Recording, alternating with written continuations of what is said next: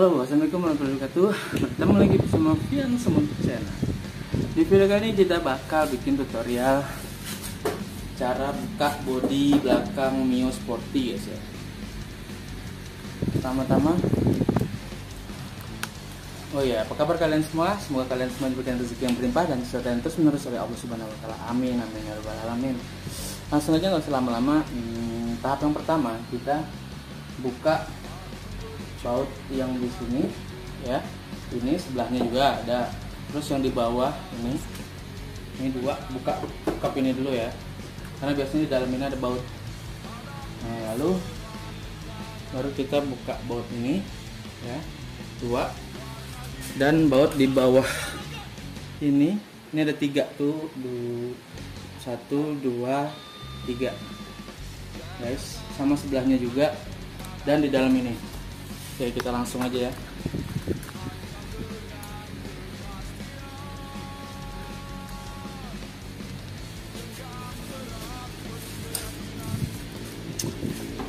Oke sama-sama kita buka yang dulu guys.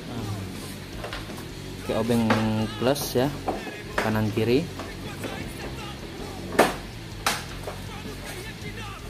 Dua dan yang di bawah juga ada dua guys nah, karena ini bautnya sudah saya rubah menjadi kunci 8 jadi kita pakai kunci 8 T. Biasanya pakai obeng plus semua guys bautnya. Jadi untuk buka cover ini dua juga yang di bawah dua yang di atas ya. Langsung aja kita buka ya. Ininya dulu yang kita tarik. Dan joknya turunkan baru bisa kita lepas guys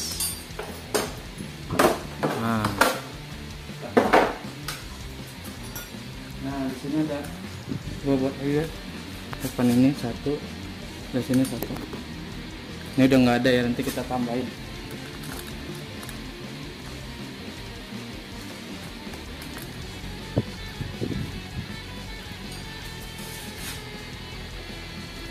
Oke lalu kita buka baut yang di dalam ini. Guys ada dua ya.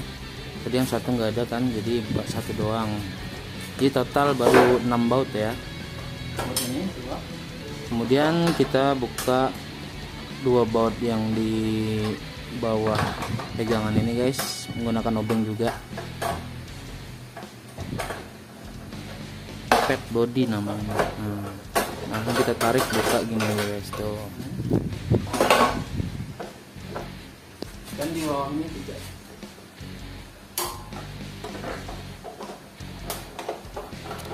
di bawah bodi ini ada tiga ya. Satu dua dan tiga. Oke langsung kita bisa lepas sebelahnya sama juga guys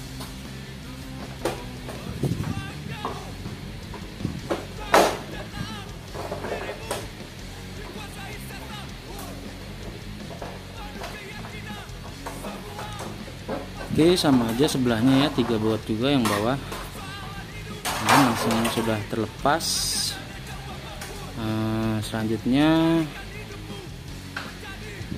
nah, ini nyangkut. Oke nanti kita bakal buka injekannya guys ya. Sekalian injekan body yang diinjek itu kita buka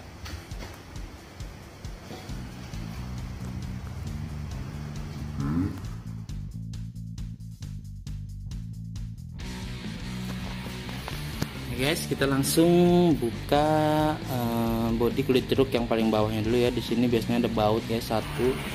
Tapi bautnya udah nggak ada. Kita menggunakan obeng juga ya obeng cengkeh. Ini di sini baut satu. Oke dan ini dua.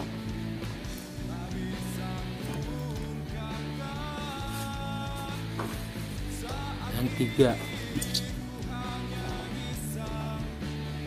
ingat ya untuk kalian yang buka uh, baut ini kalian harus kumpulkan. Nanti takutnya kurang kayak gini gini bukanya kita buka tarik aja guys. Jangan ragu-ragu karena uh, body ini susah. Nggak gampang pecah maksudnya.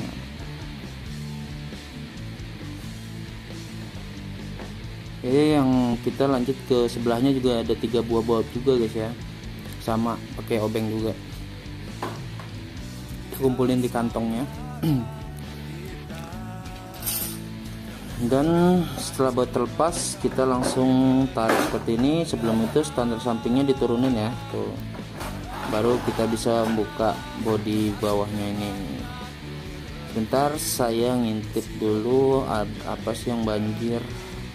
Apa selangnya bocor ataukah karburatornya makanya biar lebih jelas saya mau buka bodi semua ini guys jadi selanjutnya kita mau buka bodi yang diinjak ini guys. Bodi biar lega kita ngelihat menggunakan kunci 10T ya.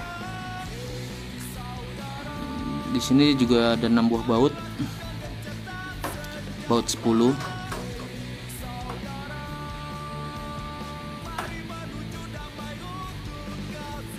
jadi Mio seperti ini jangan mudah ngejudge atau nebak bahwa karburatornya banjir ya. Karena terkadang e, Mio Sporty atau Mio Soul selangnya guys selangnya itu dia retak keras bocor. Karena selang itu di saat sok main selang itu bermain guys. Jadi gampang banget robek. Jadi tujuan saya buka semua bodi ini ya untuk ngecek semua selang kalau selangnya bagus baru saya bongkar karburatornya baik sudah 6 buah baut buka kita langsung kayak gini. Nah, kalau susah lepasnya tarik dan digedor nih gitu. Terbuka kan? Nah jadi gampang banget buka bodi-bodinya guys. Ini kayaknya videonya kepanjangan kalau sekalian kita masukin cara masangnya ya. Jadi pemasangnya di video selanjutnya aja ya